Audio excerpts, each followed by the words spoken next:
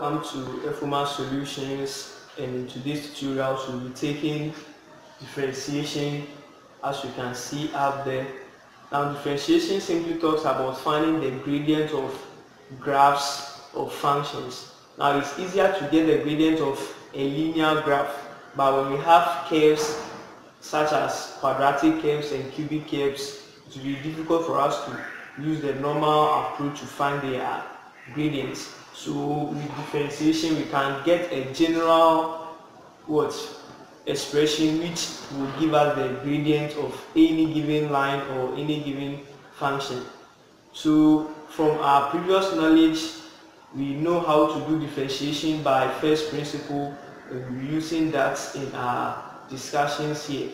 Now before we can differentiate or find the derivative of a function at a certain point or within an interval, we must make sure that that point or that interval should be what continuous or we can find the limit at that point or over that interval. So the condition for differentiation or finding the derivative of a function is continuity of that graph or that function. So let's try to see whether some functions are differentiable or not. How do we do that? With our idea of continuity and finding limits, we can determine whether the function is differentiable at certain parts or not. So with our first principles whereby we know that to find let's say the derivative of a function f of x which we term as f prime of x we know that this is given by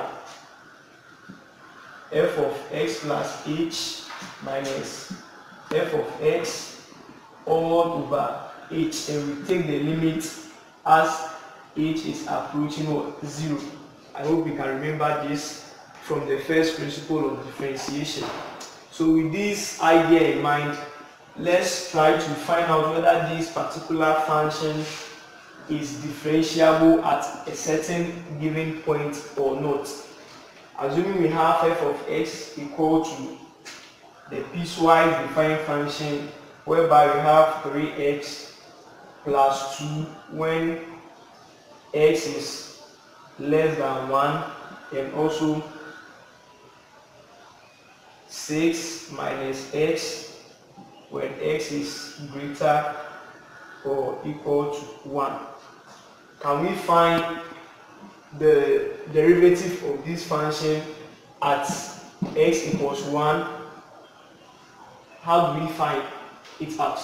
By using continuity and idea of limits. So we can see that this gives us the left hand side limit and this gives us the right hand side limit. So let's take the left hand side limit of this function and find out what the limit tends to. So the limit of the function 3x plus 2 as x approaches 1 from the left. Using the direct substitution method, we are going to have 3 by 1 plus 2, which finally gives us 5. So using the direct approach, we get the limit to be what? 5. Also, when we want to find the right hand limit,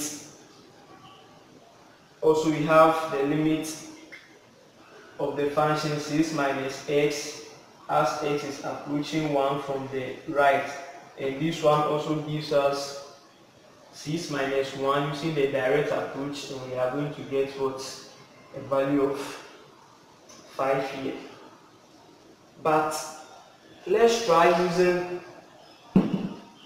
finding the derivative from the first principle and let's see if the left hand side derivative will equal to the right hand side derivative. Now you can see that this function is continuous alright because we have the left hand side limit with the right hand side limit being equal. So this tells us that that part of the function is what? Continuous. But let's see if it's actually differentiable. So using differentiation from first principle, taking f with a subscript which is minus prime of x. That is, we want to take the derivative of the function from what? The left hand side limit. So we are going to use the first function here. So using f of x plus h minus f of x all over h as the limit of h approaches 0. Let's see what happens. Actually, the 0 from what? The left hand side. So this gives us the limit as h approaches 0 of f of x is 3x plus 2 but we want to find f of h so we replace x with what x plus h which gives us the f of h as 3 into bracket x plus h bracket close plus 2 all this minus 3 x plus 2. So this is f of x plus h, f of x, all divided by what? h as h approaches 0. What happens next? Let's try expanding the expression in this relation. So opening this, we are going to get 3x plus 3h plus 2 minus 3x minus 2. So all divided by h. We are still finding the limits as h is approaching 0. Now we can simplify the expression here. These 2 cancels out that 2. This 3x cancels out that 3x. So you'll be left with 3h all over h as the limit approaches 0. So this h will cancel off that h. So our limit as h approaches 0 is what? 3. So our